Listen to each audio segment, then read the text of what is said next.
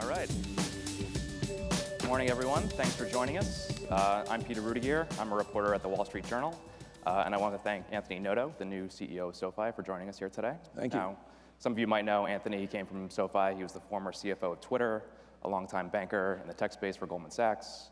Um, Anthony, given all the tech companies you've worked with over the many years, what would you say makes SoFi distinct from, from all of those? Um, I think the number one thing that makes it so uh, um, distinct is that it's having such a huge impact on individual consumers and not just helping them achieve a rational benefit of saving $30,000 on their student loans or um, a significant amount on their personal loans or giving them a mortgage for the first time or investment opportunities, but they're doing it in a way that also drives an emotional benefit. If you think about the greatest brands, they have both a rational benefit and an emotional benefit. And when I was first called about the opportunity to join SoFi, one of the things that struck me was how passionate the member base was about the brand. And I think that's a function of a couple things. One, there's this tremendous burden around the neck of millennials from student loans. And that tremendous burden around their neck is stopping them from achieving financial independence, which we define as having enough money to do what you want and to achieve their ambitions. And so the company is unlocking that opportunity for them and changing the trajectory of their lives. And that's incredibly powerful. And that's what got me to be passionate about the company and one of the key reasons why I joined. Now, I know you've also worked with some fintech companies in the past when you were at Goldman. And every fintech company exists on some spectrum between pure software and kind of specialty finance. Where would you kind of put SoFi on that spectrum? Yeah, technology will be the engine of our growth. At the end of the day, the innovation that we can drive in the financial services industry gives us an opportunity to develop a broad-based technology platform that allows us to reinvent the relationship with consumers, to build a membership relationship with them, and service their needs from across their entire life stage, not just in lending products, but saving, investing, paying, and protecting. And so we're focused on a job to be done that helps them get their money right um, and a number of different variables that we think will differentiate our ability to deliver that job to be done of getting their money right. Um, and that's very exciting. The only way we get there is through technology. The only way to make it a real membership experience, to give each individual the fastest process that they could possibly have to get that value, the best selection personalized for them, the best content, the best convenience is through technology. Now, I want to ask you in a minute about SoFi Money, which is the big first product launch you uh, oversaw when you became CEO. But I want to start with just the lending business, which is where SoFi started. Now, in the three months since you started, we had short-term rates go up, long-term rates go up. I assume that affects your cost of funds. There's only so much SoFi can do on the pricing side because you kind of have to beat the federal government on on rates for student loans. So why don't you tell us how you're responding to the the rising rate environment with SoFi? Sure. And I want to make sure I put the answer in context to the broader effort that we've had over the almost four months that I've been there. Um, we established our mission, which is really critical. We think we have a huge opportunity to impact people's lives, and we want to be a mission-driven company. And so we, we formally established the mission about four weeks ago, which is to help people achieve financial independence so they can realize their ambitions. And financial independence, we define as having enough money to do what you want. For some, that's having children. For others, it's buying a house. For some, it's retiring early. Um, and that's what we aspire to do and help our members get there.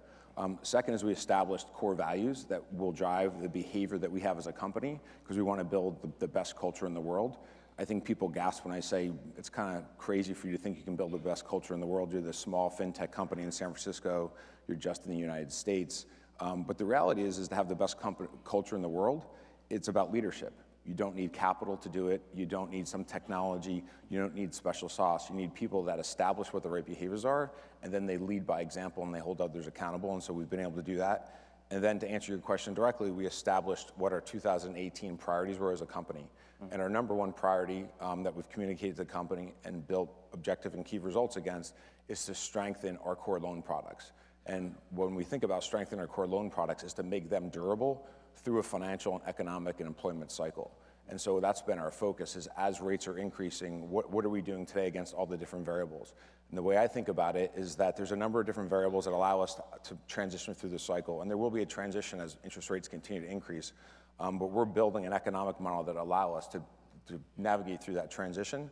Um, the variables that exist for us to play with are price, clearly, life of loan losses and the credit boxes that we're um, we're using to um, drive volume, uh, marketing costs, and operating costs.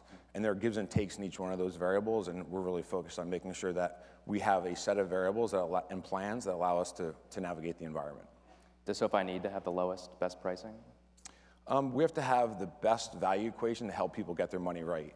And in order to have the best value equation, we're focused on four things. And everything we do, um, whether it's a marketing decision, a pricing decision, a credit decision, a technology decision, has to reinforce one or more of those four things. And again, they're fast, being the fastest to apply, fastest to approve, fastest place to make a stock trade, pay a bill, to you know, deposit money, um, the best selection. People misunderstand selection as just a, a portfolio of products, but it's much more than that. It's using technology to personalize the products. There's an infinite permutation of different ways to create products in a world that's completely digital. Um, and so that will be the second way. And then third, uh, content broadly defined. So education content, information content, market content, and then last is convenience. We don't want to be a place where you only can uh, execute with us during a certain number of hours, where you have to go to a physical location. We want to make it convenient anytime, any place, anywhere from any device. So those are the four things that we're focused on. Price is one element within selection. Mm.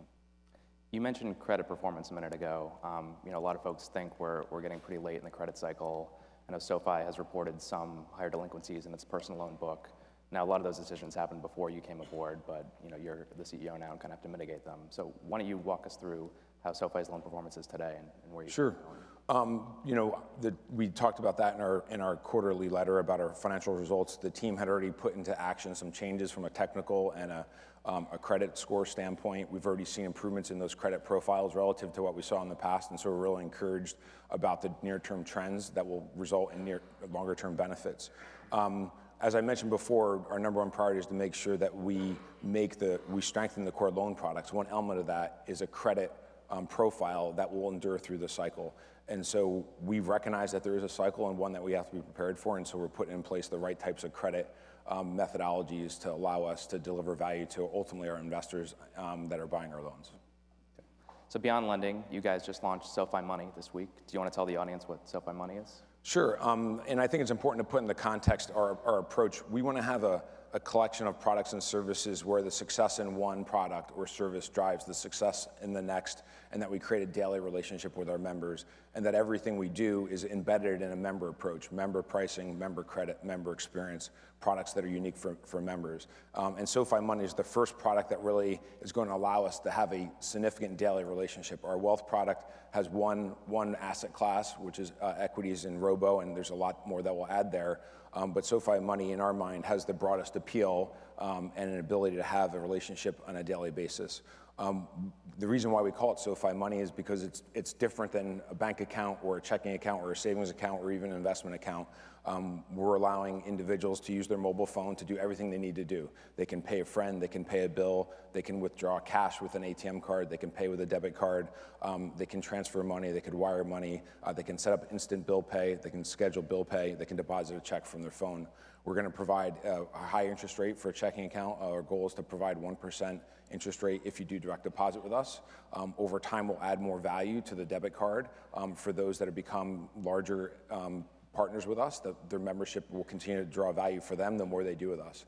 Um, so it's in a beta right now. Um, we've had great success for it so far. I actually brought with me the mailer for those that signed up in the last couple of days. Um, they'll get the, um, debit, the debit card in a very SoFi way uh, that lays out all the value and, and gives them a membership card to put in their pocket. And we think of that as a membership card, not a debit card. Um, but ultimately, we want to be So ultimately, we want to be the place that allows them to do all those different activities to get their money right um, in a differentiated way. And it's one core element of everything else we'll do with them. And we'll use the data to help give them advice on discretionary spending, on savings and investing, um, and also borrowing.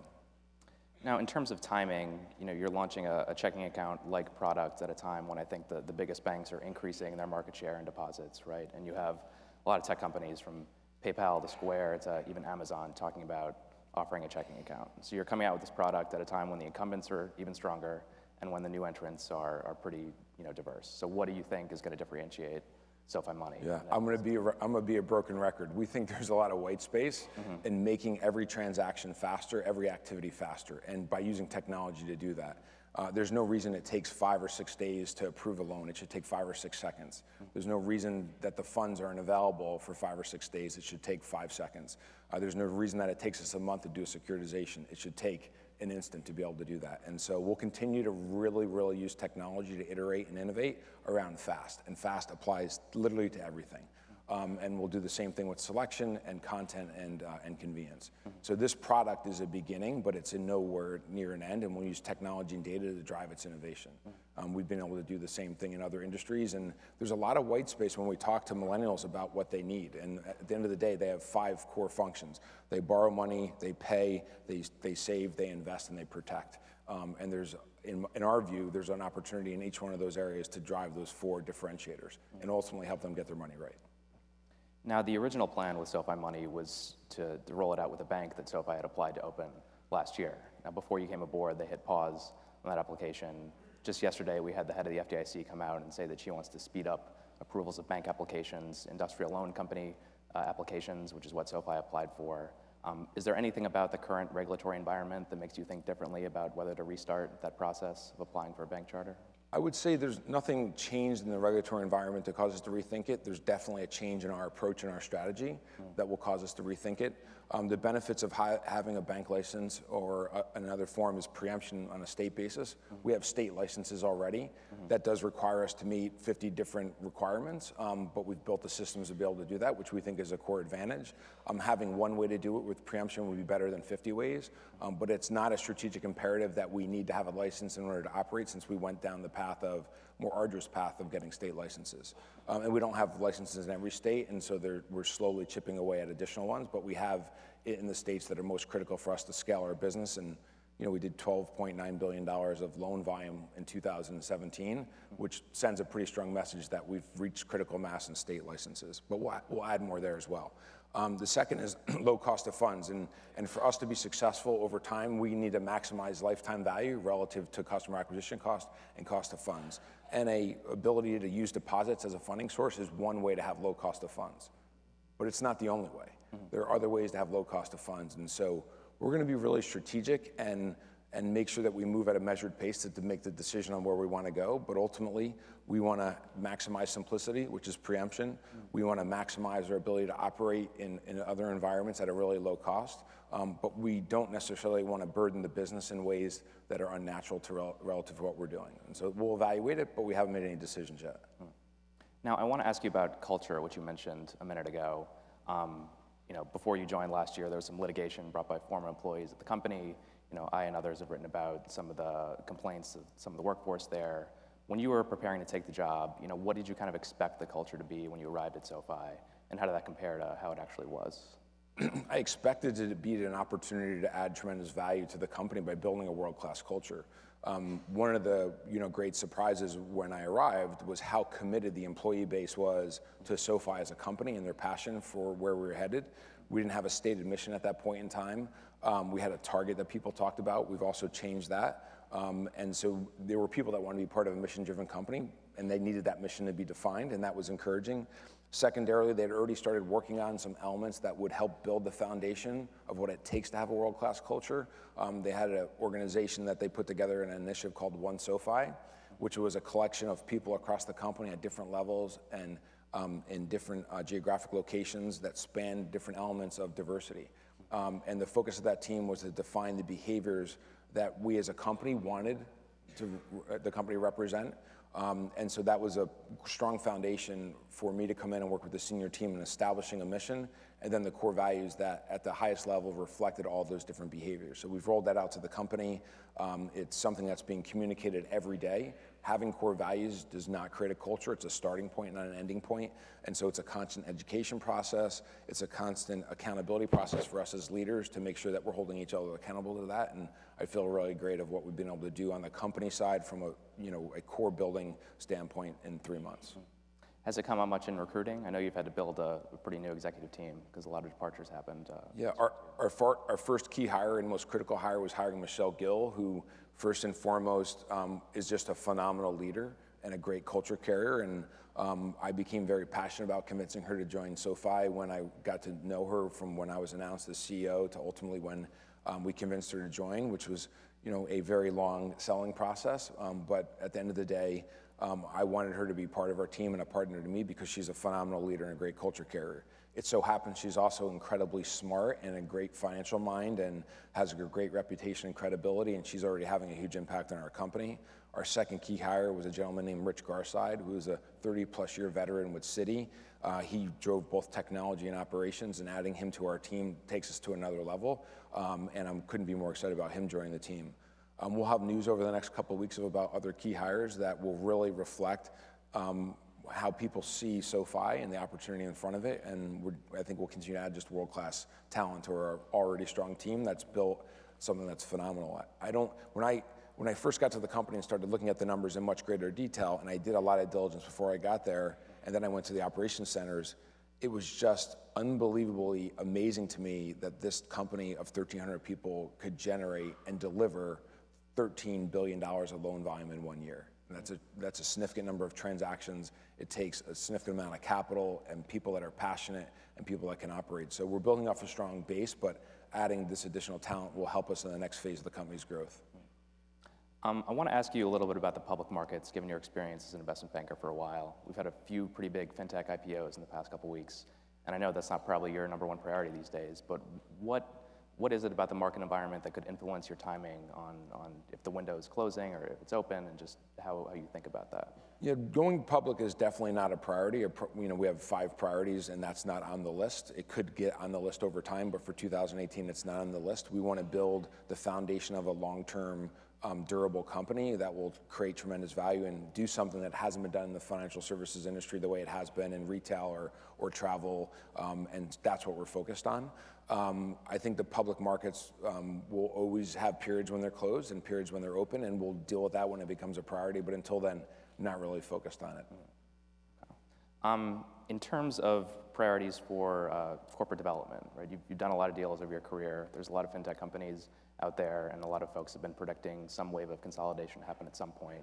You know, SoFi I think has acquired two or three companies in its in its history. How do you think about uh, acquisitions? What are kind of things that you would want to, you know, buy on the outside versus build yourself or partner? Sure. If you if you look back over the last 20 years, there's been an unbelievable amount of value created in consumer technology companies through acquisition. Um, you know, Google acquired um, YouTube, which is obviously a, a, stalwart in video and incredible value. Priceline acquired Bookings.com. Um, Expedia acquired Trip. Uh, eBay acquired PayPal. Acquisitions can create tremendous value, and so we hired a head of corporate development that joined a week ago. Um, he and reports to Michelle, and they're working on a strategic framework of how we would think about prioritizing um, inorganic growth, which could accelerate our growth. We don't have any near-term plans, but we're building a strategy and a process to evaluate um, the different opportunities as they come our way. Um, I actually love the opportunity that sits in front of us as the environment becomes more challenging uh, for companies. A lot of the fintech companies that exist today are not driving huge lifetime values that support them investing in the future. They're investing in the future via VC capital raises.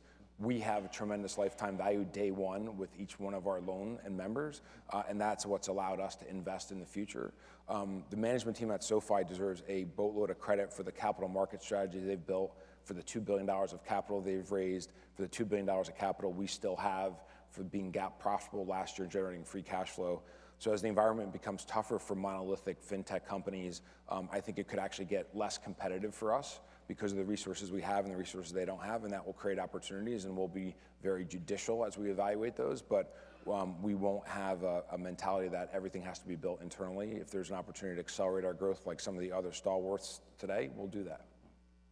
Um, just about out of time, but uh, wanted to play a little game of underrated, overrated, if you're up for it, like our last panelists. Um, so I'm going to say one word, and you're going to tell me where you think it is on that okay. spectrum. Uh, I guess first, Bitcoin. I think it's underrated. Underrated. FinTech. Definitely underrated. Twitter. Underrated. okay. SoFi. Underrated. Squared. underrated squared. Goldman Sachs. Fairly rated. Fairly rated. okay. Just for the record, I'm still a very large shareholder. Okay. Um, large for a blue collar kid from Poughkeepsie. Uh, Silicon Valley. Uh, fairly rated. Fairly rated.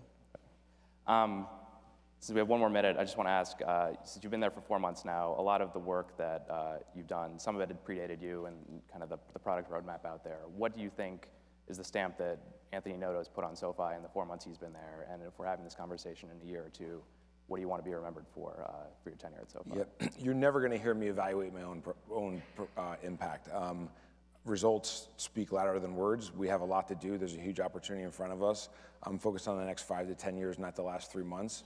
I'm really proud of the company and the people that have had the resilience to navigate through what's happened over the last year. Their passion to be at the company, and it's a, it's a, privilege, uh, it's a privilege and a pleasure for me to be part of that team. Um, and if I can help everyone achieve more than they would otherwise, then I'll be really satisfied. But we have so much to do, and there's a long road ahead of us that we're focused on making sure that we build the biggest, most successful company that we're all proud of. When I spoke to the board during the CEO selection process, um, there was a question what would success be? And um, I have that presentation. I show it to people we're recruiting.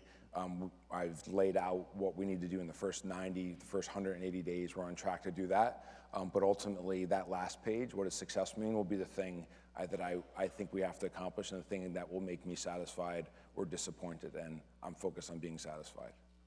Okay. Anthony, thanks for joining us. Thanks, everybody.